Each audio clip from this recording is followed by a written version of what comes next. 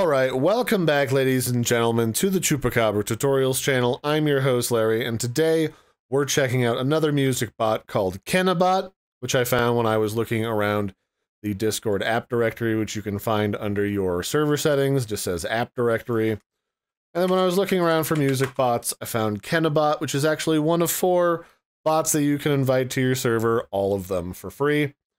And if you look on their website, you can see that you can add, well, first off, you can add the bot either from the website by clicking the big add me button, or you can do it through the Discord app directory, which is how I prefer to add my bots these days. And it tells you all about the bot. It's got four different versions you can add to the server. It's on all of these lovely looking servers. And it's got slash commands, which pretty much every bot should by now, because I think this year Discord's going to start kicking off bots that just use prefixes.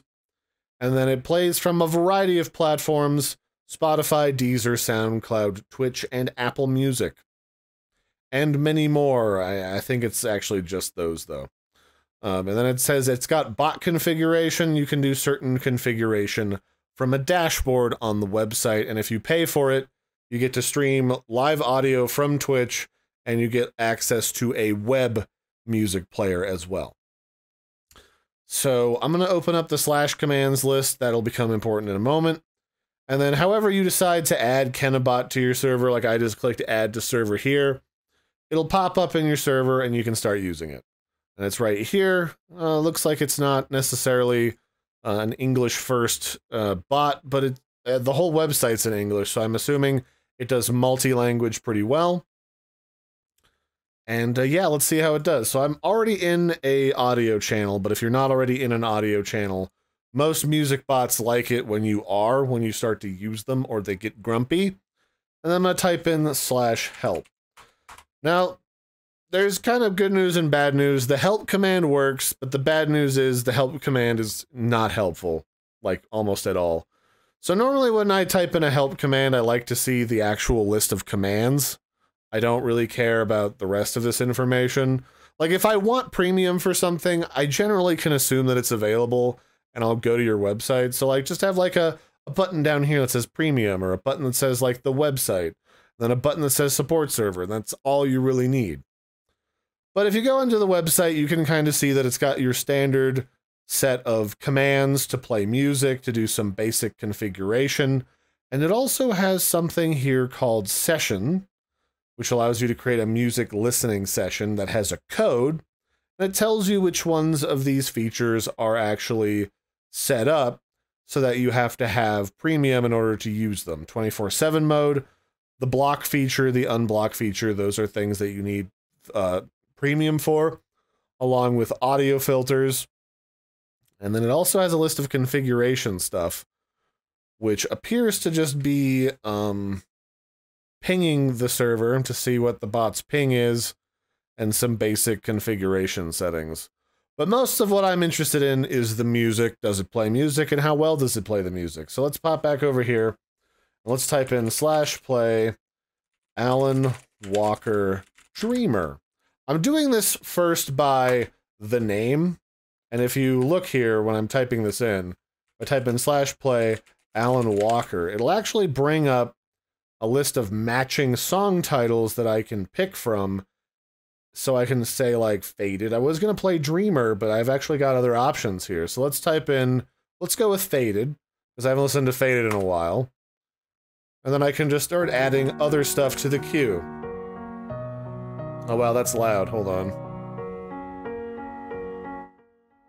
I always forget that these bots start like way louder than I want them to. So now I can type in uh, Alan Walker Dreamer. And then I'll just add that to my queue. And then like a lot of other bots, I can just view the queue as it is. It's currently playing Faded, followed by Dreamer, and nothing else because I haven't added it to the list. But I've got some others off screen here. Let's add slash play syntact Ego. And then we'll also play Pleague Home. There we go. So now we have a selection, and then we can type in queue. And then can I remove... Yes, I can. I can remove number two from the list. So the queue controls are very snappy. This is all working very quickly. The audio quality is nice. The song started immediately. What happens when I skip to the next song? Okay, so it skips pretty well. There's also button controls. So I would say, out of the box, as just a, a, a music player, Kenabot's got what you need. But there are a couple other questions that I have about this bot, so let's go ahead and pause this bad boy. So what other major commands are we probably interested in? So all the basic commands here work. We can type in like now playing slash now playing, and that tells me if we're playing Dreamer. Um, doesn't tell me who the song is by. And if I click on this, it brings up Spotify, so it looks like it's playing these songs from Spotify by default, because when I click this, it tries to launch Spotify on my computer, which I didn't realize was installed on my computer, so today I learned. Um, so that's always fun to see. And then I have things like I can invite the bot, I can add filters and shuffle, change the volume. I don't generally bother with the volume controls because I just right click them and I drag in the, the volume for my personal listening uh, volume on this bot. So like I'll just reduce it by like to like 40 and not worry about it. But if you want, you can type in the volume And how does this like its volume set? 0 to 100. So we could set this to like 40 if we wanted. Or we can type back to volume to 100. All right, that's not bad. It's not all automatically translated to English for me, but I've used enough of these bots to tell what it's trying to communicate to me, so that's not really a big deal. Now, the major question I'm curious about is what are sessions? What are they? Are we joining a cult or are we like starting some sort of robot uprising? Let's type in session and we have the option to create, delete, info, join, or leave. So let's create a session and let's call it test. So you have created a session, which is a listen together, Kena together. Send the invitation code to your friends to join your session. Oh, okay. So this is like a listen together party that goes across servers to all the people that have Kena, but okay, that's that's kind of interesting. Uh, I'm gonna go ahead and type in session delete. Oh, I mean, that was not the functionality that I was expecting. It might be a good idea for you guys to actually say what a session is on your website because, well, this is the big list of your commands and the functions that they do. And all it says is slash session creates a Kena together session and says literally nothing about it beyond that. Okay. So it's a listen party. The other stuff that you can do in here is we can check the status of the bot. We can also ping the bot. What's the bot's current ping? 104 milliseconds or or 1 ms, which isn't bad. Let's see, status. Okay, so that's like the shard information about how the servers are doing that it runs off of. All of them are currently connected and running with very low latency. So that's really nice to see. Okay. What happens when I resume the music? Oh, it resumes it just fine. Then we can type in skip again. If we want. Uh, what's the queue like? Do I still have anything in the queue? I do but I'm going to clear the queue because we're only listening to Dreamer today, apparently. Um, I don't know. It's a good bot. It it's very responsive. It's free. Uh, it's got really decent or good. So yeah, Kenabot. It's a good music player. It's responsive. It's got good audio quality. It doesn't have a lot of pointless frills or confusing commands. It just plays music, gives you the option to have some premium commands, and has a, a listen together functionality that allows you to host like a listen together party with your friends who also use Kenabot. Kind of not really a feature I've ever thought I wanted or needed, but I do know people like using those Spotify listen together parties where other people can listen to what you're listening to.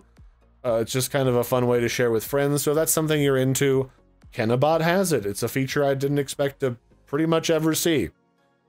Um, that said, what do we get if we pay for premium? So if you get a donor plan, because it's considered a donation, you can play live Twitch stream audio. You can play music in a stage channel for a large number of people. You get 24-7 mode. You get access to audio filters. I've honestly never seen anybody use audio filters, but if you do, they have it. And then you get premium support faster than the average person who might have to wait on their support server. And then you also get access to a fancy dashboard.